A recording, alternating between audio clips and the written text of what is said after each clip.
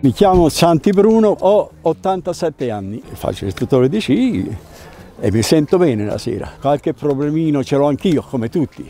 Ora di ore ne faccio molte meno. La montagna è cambiata, è cambiata in peggio, diciamo, perché veniva 3-4 metri di neve. Quest'anno è questa la neve. Se vengono delle giornate eh, più, più calde, le piste cominciano la neve andare via, se si arriva a maggio è dura, ma non ci si arriva a maggio. E la neve continua che manca, perché ci può essere ora un mese la neve, ma in un mese non si risolve una stagione. E questo è il discorso. Sono le stagioni di ora che sta cambiando tutto. Allora, se andiamo di là, fai questo, ti pieghi, brava, vieni ancora, però.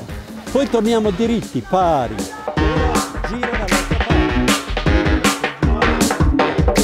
Ora su ti alzi, pari, ora giù piegati.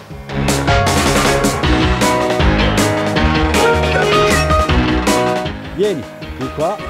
La prima volta che sono salito sulle sci avevo sei anni, venne giù una bomba sul tetto della casa dove, dove stavamo, è tempo di guerra, e allora a quel punto dov dovevamo sfolare, andare su, perché c'era mio nonno che aveva una casa sotto i piedi del Cimone. Però io andavo a scuola e la scuola era in paese.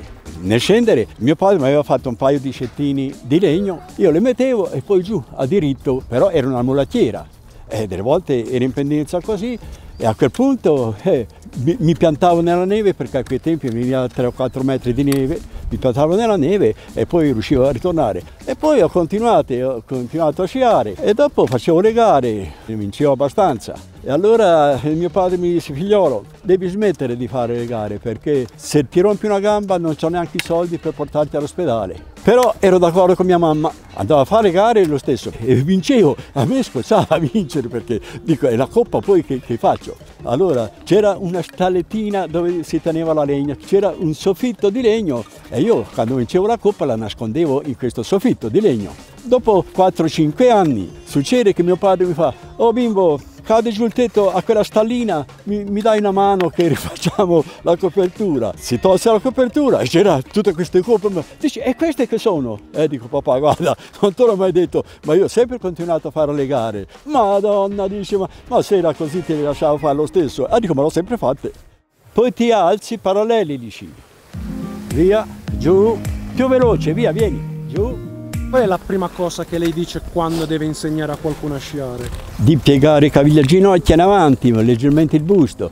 Non dobbiamo rimanere rigidi, specialmente a, alle persone più adulte, perché ai bimbi no, i bimbi sono sciolti, sono sciolti, i bimbi imparano per assimilazione. Se io mi piego così, il bimbo si piega così anche il bimbo. Mentre l'adulto è molto più difficile fare scuola agli adulti che ai bambini. Ci vuole doppia pazienza, tripla pazienza, perché l'allievo cambia e allora cambiare anche la terminologia. E poi c'è chi ha paura, chi non ha paura. Come fa alla sua età a riuscire a fare tutto questo?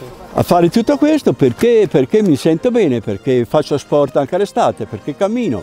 Fumare non fumo, bere non bevo. E, e, mangiare dei gran minestroni mi faccio per conto mio perché sono rimasto vedovo di bei padelloni di minestrone così e mangio quello la montagna è cambiata è cambiata in peggio diciamo. Questo mese abbiamo avuto 4-5 giorni di, di temperature sotto gli 11 13 gradi sotto zero. Oggi siamo già a 5-6 sopra nel, nel, giro di due giorni. Perciò cambia, cambia. Uno si copre, io ieri ero coperto, mi sono dovuto togliere la giacca, attaccarla a un palo perché si, si sudava, come quest'oggi. E questo è un male anche per, fisicamente, fa male anche fisicamente. Una volta invece febbraio era freddo tutto il mese, febbraiuzzo corto e aguzzo, dicevano.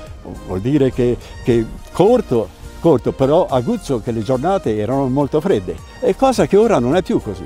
Quest'estate eravamo senza acqua, veniva un temporale che portava via tutto e poi, e poi dopo basta. E lo stesso la neve, se non c'è neve non infiltra nei terreni e dopo è chiaro che a primavera o, all'estate manca l'acqua. Preoccupa per, per, i miei figli, i miei nipoti e, e i bimbi che nasceranno ora, si, sia per andare in pensione che per altri, perché anche, anche il lavoro non è che, che, ci sia parecchio lavoro qua da noi, eh? perché all'inverno aprono camerieri, cuochi e tutto, lavorano agli impianti, ma se non c'è la neve questi, questi, questa gente cosa fa? Cosa mangia? Sta cambiando troppo rapidamente e preoccupa chiaramente, preoccupa non solamente ma preoccupa tutti.